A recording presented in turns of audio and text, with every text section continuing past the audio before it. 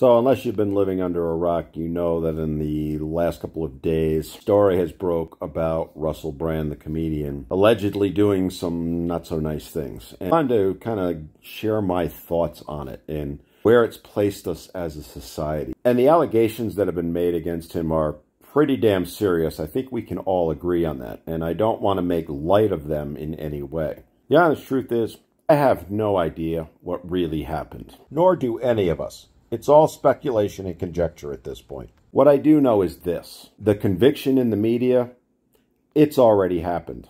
Innocent until proven guilty, as was formally guaranteed in our Constitution, no longer applies. Anonymous claims with no real collaborating evidence, at least so far, about something that may or may not have happened over a decade ago are all that is needed to have you tried, convicted, and sentenced in the court of public opinion, especially if you happen to be male. And as many of the men I've interviewed over the years will tell you, even when actual police investigations or even jury trials have completely exonerated them, they're still guilty in the eyes of the public. They're tarnished forever. At this point, all we know is that an accusation has been made. That's it. No evidence has been given. No police investigation has been started as of the time I'm filming this. Nothing other than allegations in the media.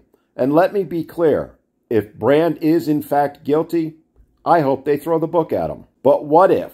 What if he isn't guilty? What if this is, as many have claimed, him being targeted for his political beliefs? What if he's found completely innocent? What then? You can't undo the damage that's already been done.